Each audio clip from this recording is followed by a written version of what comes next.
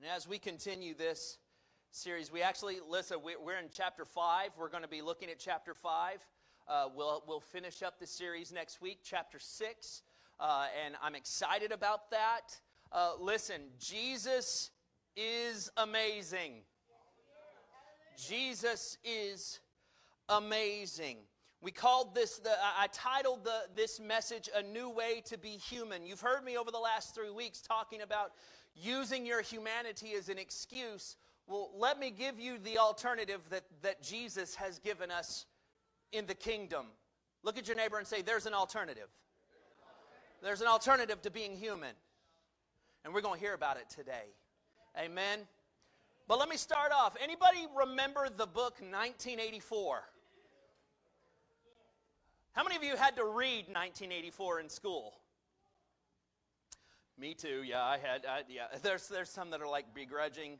Uh, you know, George Orwell's classic dystopian novel that is very similar to some of the current circumstances that we find ourselves in today. One thing that it brought to us was the concept, for those of you who have read it, of what, what we hear is new speak new speak. And that's a quotation from the book New Speak. It was a systematic way of changing language by either removing words or reshaping them through redefinition.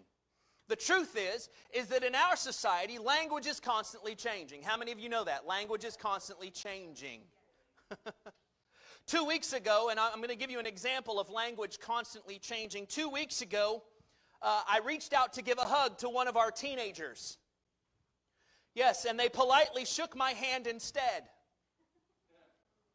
And I was heartbroken. Why are you not giving me a hug? You have always given you, you have given me hugs. When I ask for a hug, you give me a hug, you shake my hand.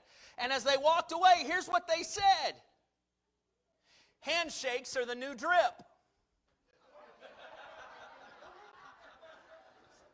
Wait a second. All right, now I know what a handshake means. I know what a handshake is. But what does a handshake have to do with a leaky faucet?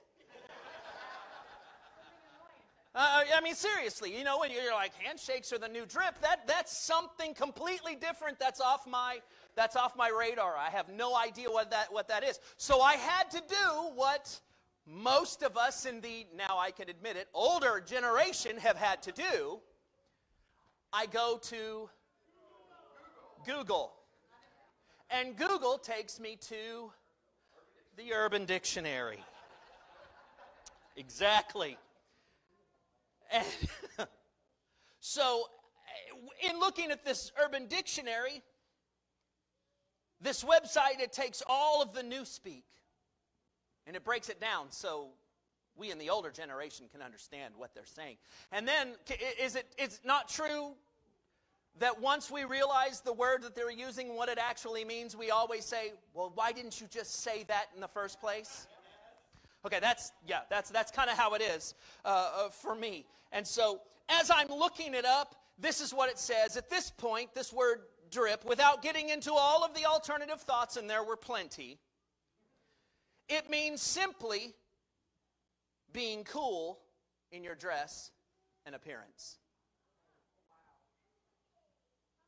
So, for all us older men and women, handshake away because it's the proper thing to do. It's decent, it's respectable, it's cool, and above all, that coolness is a part of our appearance. And it's cool. It's cool, man, cool. All right? So, this is essentially handshakes are the new cool. Oh, well, why didn't you say that to begin with? Okay, I, I want to be cool. So if handshake is the new cool, then that's, that's what I'm going to do. But the fact is, is that what they have just explained to us is that this coolness is quite human.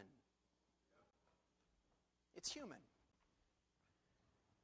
So when we think about this word human, it's another word that, depending upon how you use it, can mean so many different things. In science, the word is used for a classification of species. Regardless of being male or female, human is a classification, right? We know that. In society, it takes on the meaning of singularly important and therefore to be valued regardless of race, creed, ethnicity, and all the other classifications that divide more than unite. I mean, we can understand that, right? If I'm going to use the word human in society, what I'm saying is, is I am a person. Respect me. That's, that's, or don't respect me, but, net, but recognize I'm a person. But in spiritual circles, this word takes on the meaning of fallible, imperfect. And if I look even smaller, in grace circles, it has become the natural defense for giving in to the temptations of sin. I'm only human. The funny thing is that Scripture has something different to say about that. Scripture always has something different to say about that. And Paul, here in his letter to the Galatian churches, redefines what being human looks like.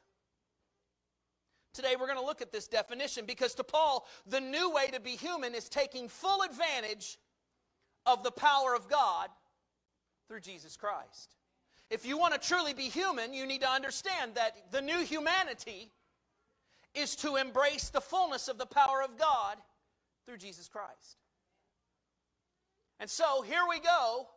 A couple of things. We're going to actually look at Galatians 5 1 through 26. And if you're okay with it, we'll read the whole thing because I like just, just as it's a conversation, hearing what Paul is saying. But we're going to look at the characteristics of a new way to be human.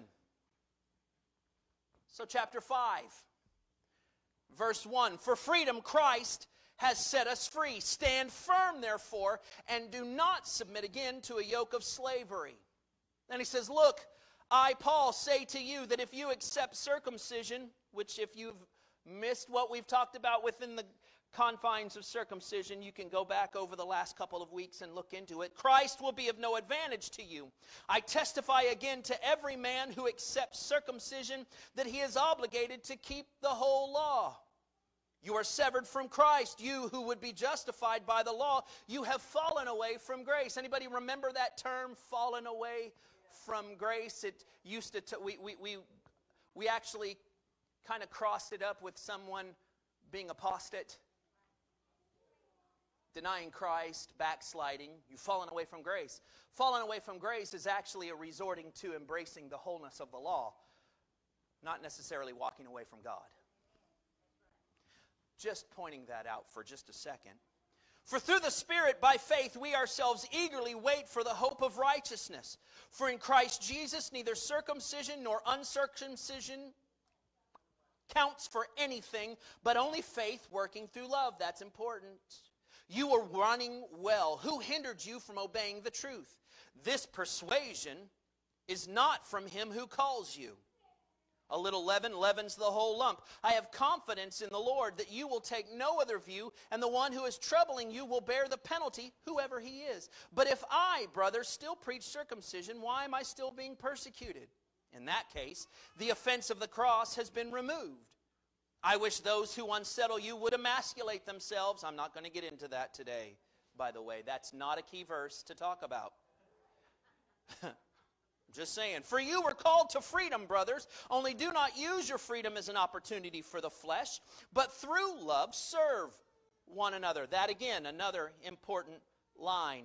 For the whole law is fulfilled in one word you shall love your neighbor as yourself. But if you bite and devour one another, watch out that you are not consumed by one another. It's sad that Paul has to give an opportunity that if you bite and devour one another, here's the limit don't be consumed. Wow. Almost like saying, I know you're going to do it, so just know the limit. What a shame.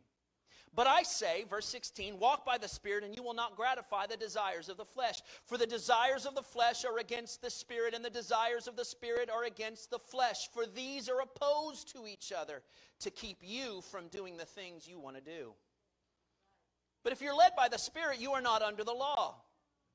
That's a great statement. Now, the works of the flesh are evident sexual immorality, impurity, sensuality, idolatry, sorcery, enmity, strife, jealousy, fits of anger, rivalries, dissensions, divisions, envy, drunkenness, orgies, and things like these.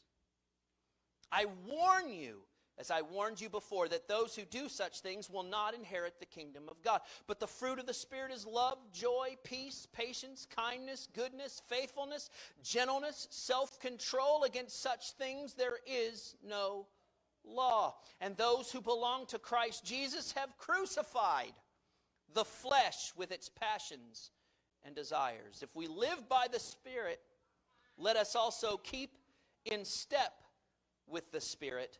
Let us not become conceited, provoking one another, envying one another. Paul gives a subtle rebuke. Somebody wants to watch football. Paul is giving a subtle rebuke here.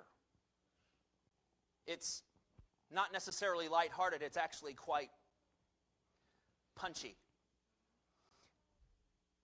And essentially, though, we can break it down into two things that he has said to us.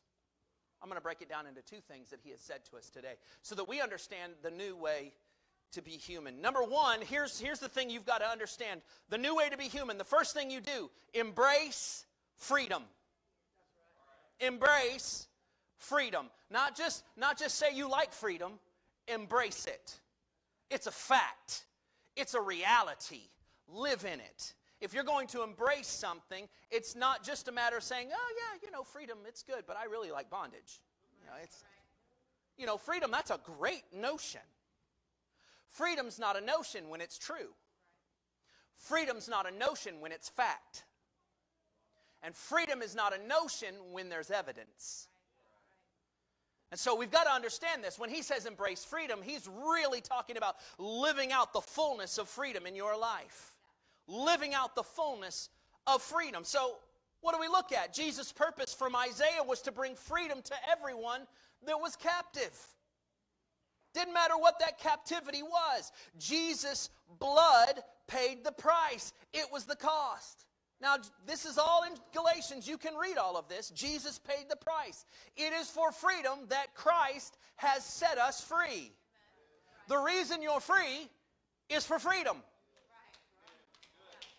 I mean, that's wonderful. That's and that's the truth. The problem is is that we don't live in that freedom. We don't embrace that freedom. Freedom's good when everything's good. Freedom's bad when we're struggling.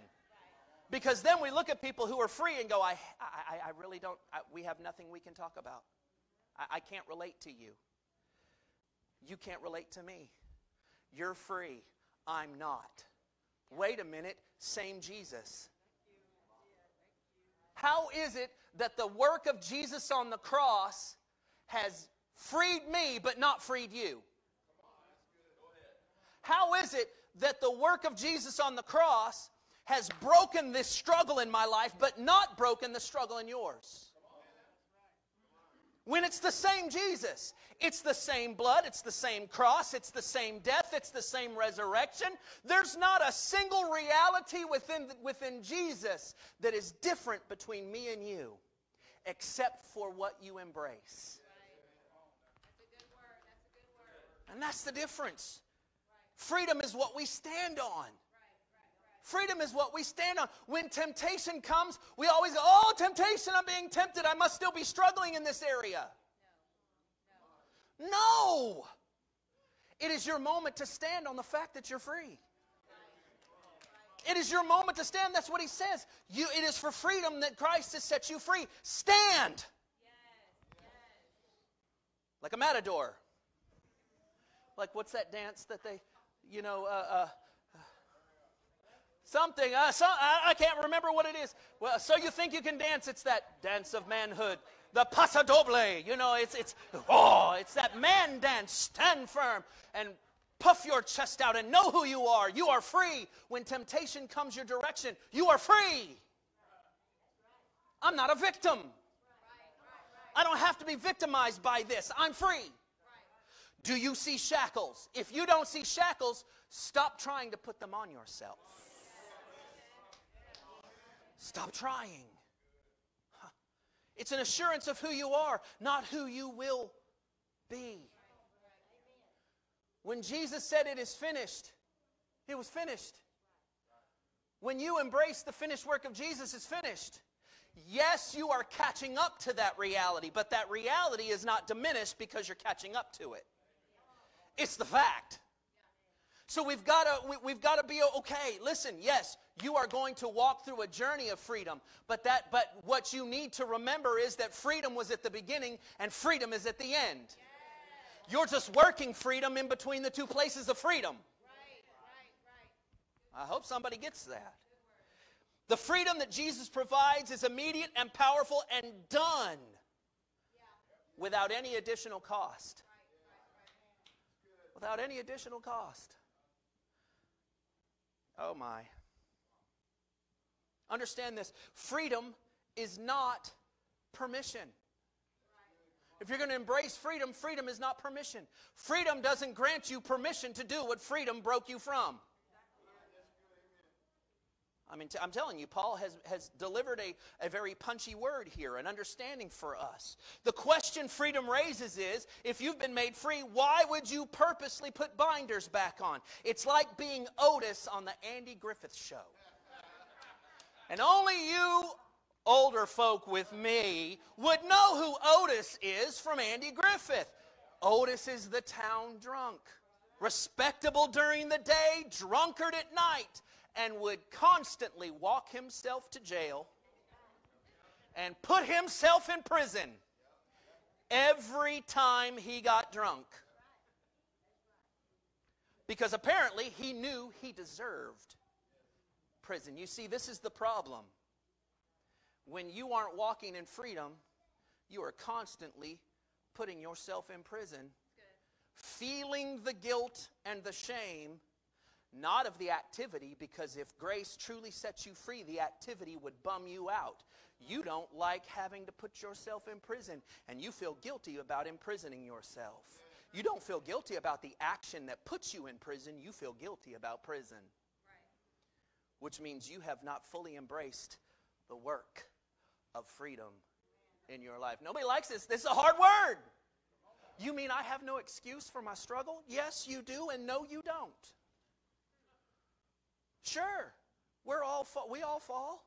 We are all in that place of still dealing with the fallenness of our nature until Jesus comes and we are renewed and translated fully from one body into the next. We're going to struggle with these, with, with, these moments where sin comes at us, where there's an opportunity, and all of those things. But, folks, freedom. Freedom has released me from having to dodge the punches because I have the shield of faith. I'm blocking the dart. I'm blocking the attack every time it comes at me. Huh. Love is the expression of freedom. Okay, well, now, here's where we start talking to all the church people.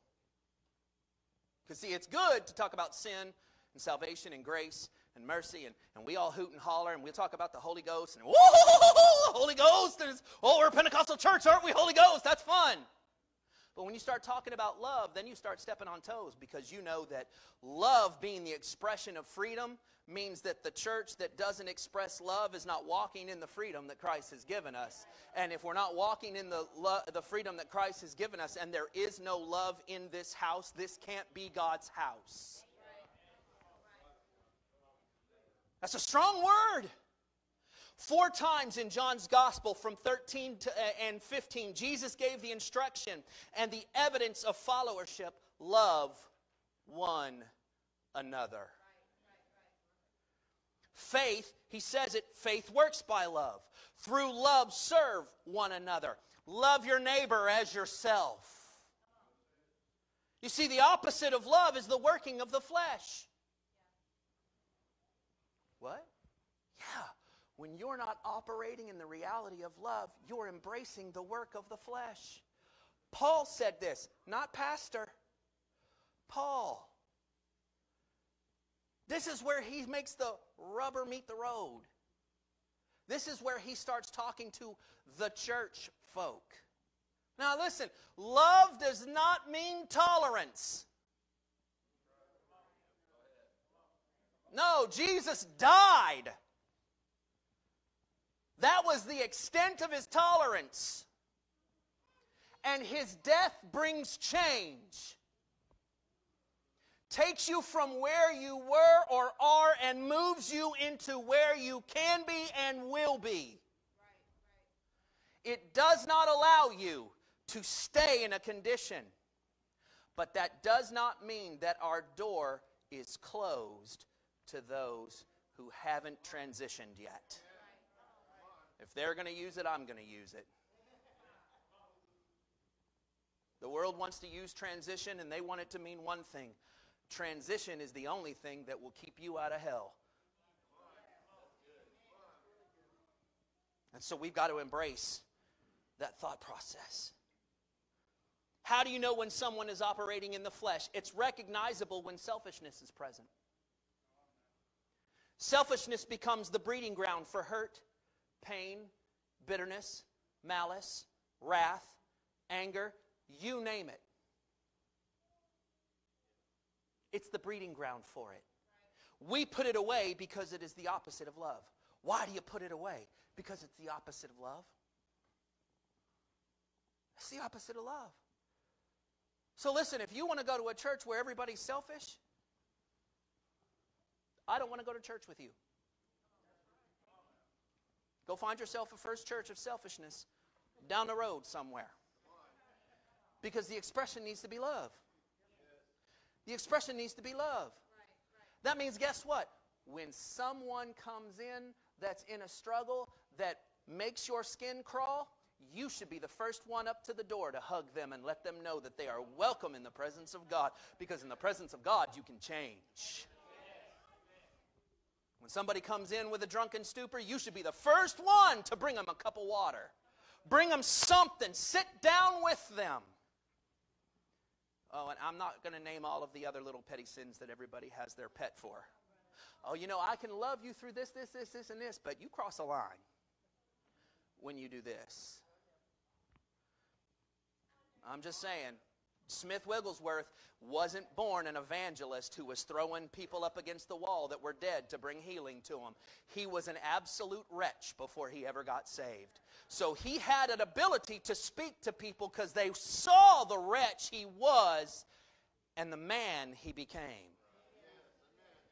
You look at any of the heroes of faith, and there was always a transition that took place in them, some later than others.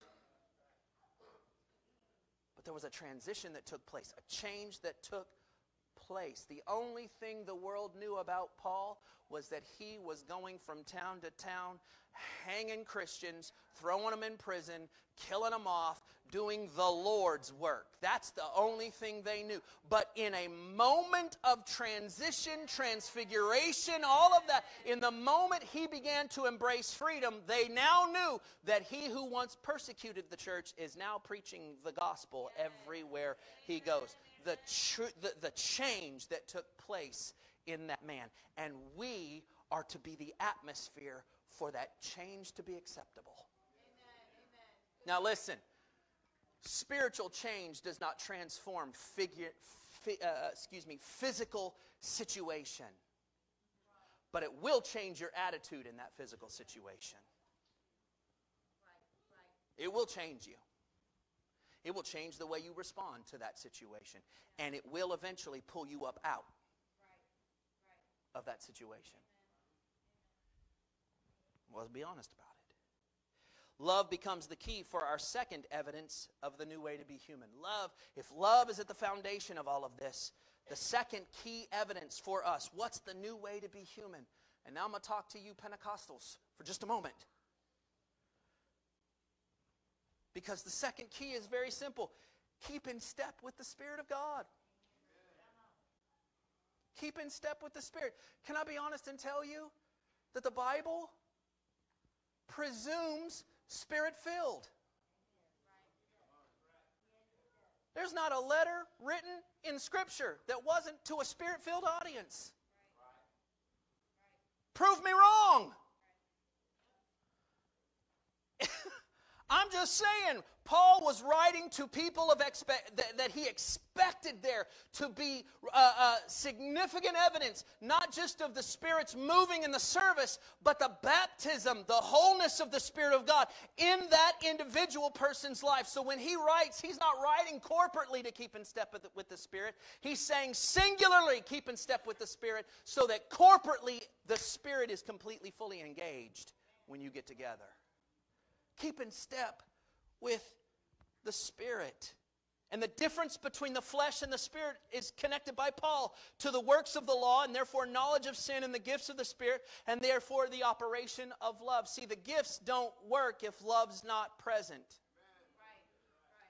Look, if I don't like you, I can definitely give you a word that reads your mail, especially if I know what it is. But that doesn't mean that it's God that means that I have just aired your dirty laundry to the entire church. That's not love. That's not love at all. That's ridiculous. But the fact is, here's, here's, here's what he says. He makes this contrast. He says, Keep in step with the Spirit. Walk in the Spirit. You will not fulfill the lust of the flesh. The, he makes this difference, this differentiation, and he connects it to being law abiding versus grace walking. You see, as long as you are abiding by the law, you have nothing but the knowledge of sin. And the knowledge of sin drives you to sin, which means that the works of the flesh and therefore the evidence of the law in your life is the activity of sin.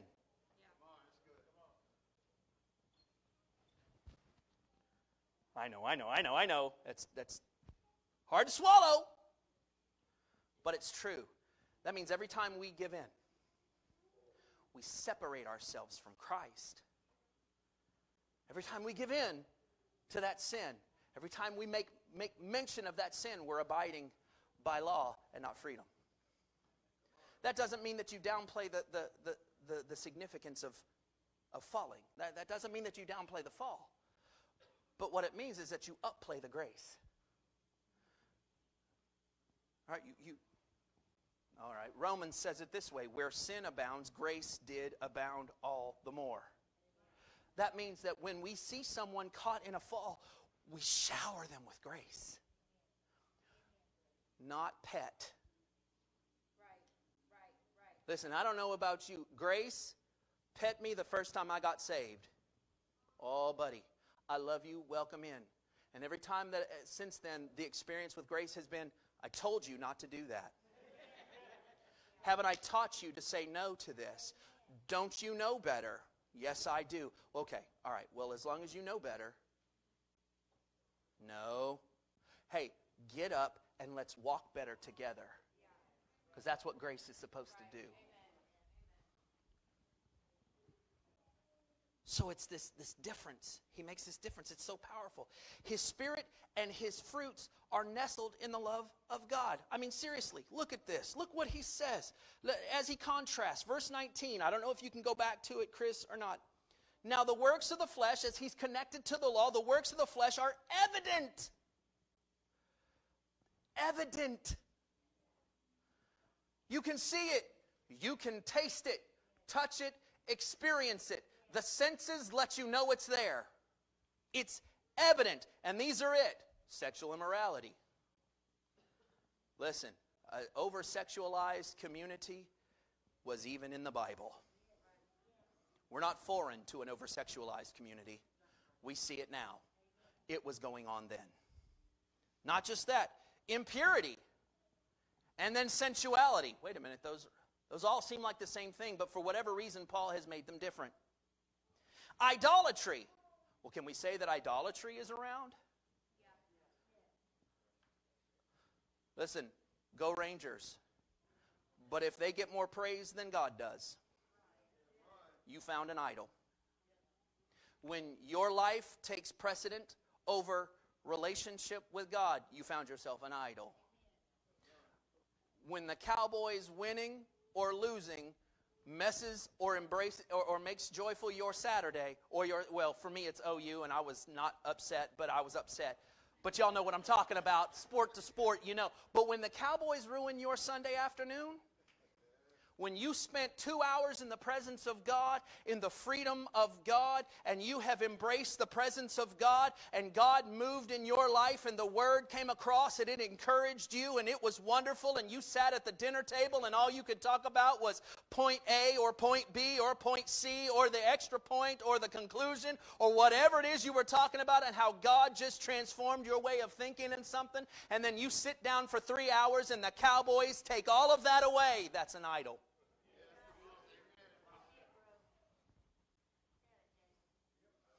Because an idol is anything that stands in for your relationship with God. And I know I use sports because I love sports, but it can be anything. It can be anything. Guess what? It can be ministry. I'll never forget, and, and, and uh, a friend of ours used to talk about it all the time, but I'll never forget the one time that this, this preacher who has now passed away and gone on to glory, he was standing up on a stage and he says, Quit committing adultery with the bride of Christ. And I had to stop for a second. What you talking about? He said, That's the bride of Jesus. He can take care of her. If you're not taking care of yours, you're in idolatry. I'm going to tell you, ministry can be an idol, uh, an idol. Work can be an idol. Play can be an idol. Anything can be an idol. It doesn't just have to be one of those crazy gods that are mentioned in the Old Testament. Anything can be an idol because it's man made and it's man putting something in between. And yet at the same time, look what he continues to say the works of the flesh. Sorcery. What? Wait a minute, sorcery. So the Galatians were involved in incantations? They were engaged in what? Enmity. Okay, now we get into where the church is. We're gonna read the we're gonna we're gonna read your mail. Enmity. Strife. Now listen to that. Strife. Bitter division between people. He said, she said, between people. You stepped on my toe, so I stepped on your foot. In between people. You have hurt my feelings to no end, and it has sunk down, and it is a seed in my heart, and it has been watered by the rage that's in my mind, and all of a sudden it's producing a tree. But I love Jesus. Shut up. No, you don't. You need deliverance. You need freedom. I'm sorry, I didn't mean to say that. I forgot the kids were in here.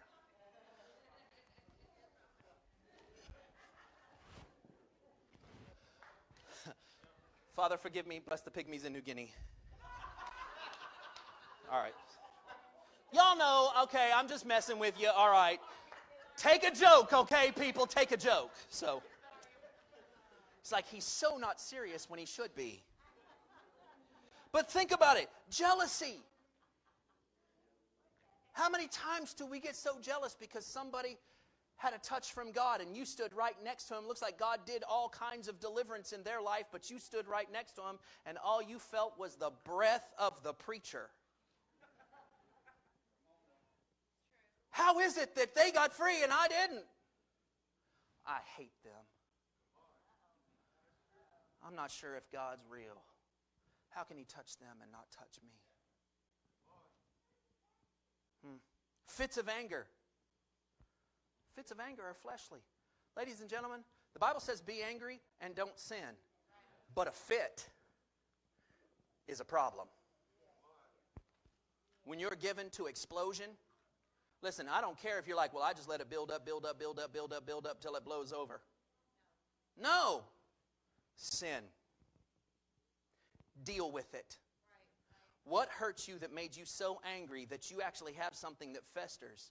And then you still let that splinter stay inside of you and fester again, and fester again, and fester again, and fester again. Oh, well, you know, it's just me. Sometimes I get angry. No, you don't. You need freedom because obviously you haven't experienced it. Rivalries.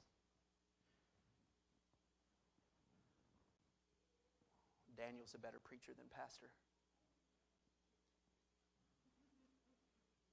I only come when so and so is here. I'm on team this. I'm on team Jesus. Every other team needs to pale. Dissensions, divisions, envy. Then it gets back into what we would call worldliness, and yet it's in the church drunkenness, orgies, and things like these. Paul didn't have enough words to express all the individual things, so he lumps it all into and things like these. Ladies and gentlemen, I'm going to be honest with you. This stuff that Paul just mentioned is evidence of sin and life and, separ- uh, and law and separation from God. It's not just your hang up, it's separation. But the fruit of the Spirit. Isn't it funny how he says, but the fruit of the Spirit? He doesn't say it's evidenced because its evidence is changing you and changing everyone else. Because it's fruit. Fruit is made for picking and eating. And notice, it doesn't say that, you, that, that we produce different kinds of fruit. We all produce the same fruit. We all produce the same fruit. So any one of you should be ripe for the picking. But the fruit of the Spirit is first it's love, then it's joy. Well, if Joel doesn't pick some songs that make me happy, I don't know. Uh, well, why are you walking around with the bitter beer face today? I just have no joy. Why not? Jesus set you free. Peace, patience, patience, long suffering.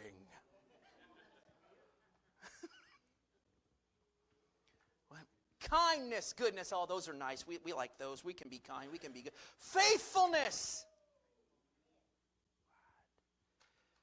Don't throw God under the bus.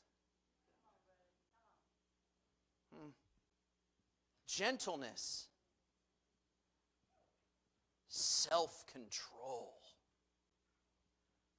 Against such things, there is no law which identifies separation from God. You want to look close to God? Fruit is what you show. You want to look distant from God? Work is what you will show. Simply put, that's the way it looks. The spirit filled life leaves no room for conceit, provocation, or envy. It leaves no room for this stuff. Can I be honest? This is Paul now. This is Paul, not just pastor. I'm messing because it's because of things that you see. Pastors get to meddle and they get to say, "Hey, Paul said it first. But if you look at Paul like a preacher who knows the business of the people of the church that he was ministering to, then we're kind of the same. But Paul says this very eloquently, sternly. Church is supposed to be different, it's supposed to be better. It's supposed to draw those who aren't in the church to want to be a part of the church because we love each other because we aren't competing with one another, because we don't have envy, because we're not provoking one another, because we're not mad at each other. And if we do get upset with each other, we come to the altar together and we fix it under the same risen Christ who rose from the grave for both of us and saved us both. Anytime there's a difference, we bring it to the foot of the cross. Anytime there's a, stri- a strife or a struggle, we get it fixed very quickly. Why? Because the one thing we can't afford in the church is for there to be so much division. Ladies and gentlemen, how much division is in the church? More than we want to talk about. Why? Because we let the old way of being human determine our response instead of the new way of being human.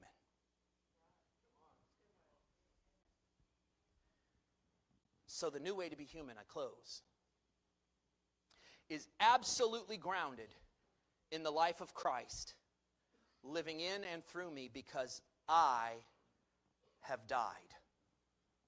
Look at your neighbor and say, I'm dead. But he lives in me.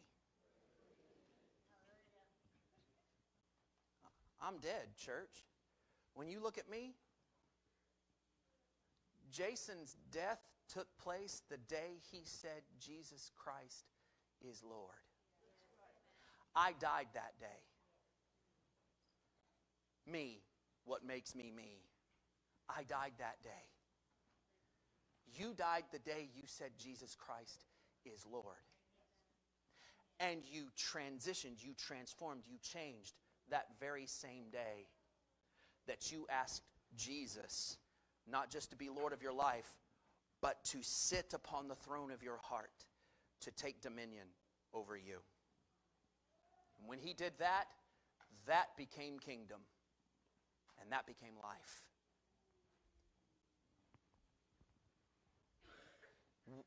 And, and we're going to cl- well, you know, we're going to close out this series. We're going to see how Paul determines the new way to be human, how it looks in daily life and relationship. That's next week. We'll look at that. But it all comes down to this Jesus came, He lived, He died, He rose again, He ascended to heaven, and is seated at the right hand of the Father.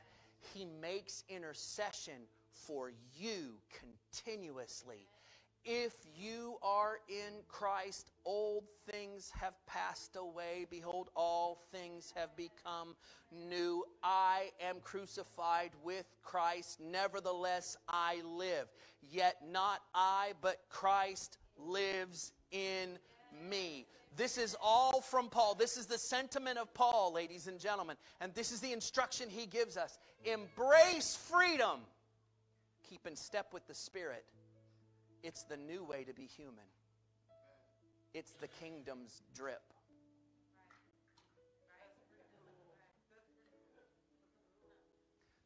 The one who said that to me knows that I love them. And I thank them for allowing me to uh, use this as an illustration. But it is, it is the new way to be human. Stand with me this morning.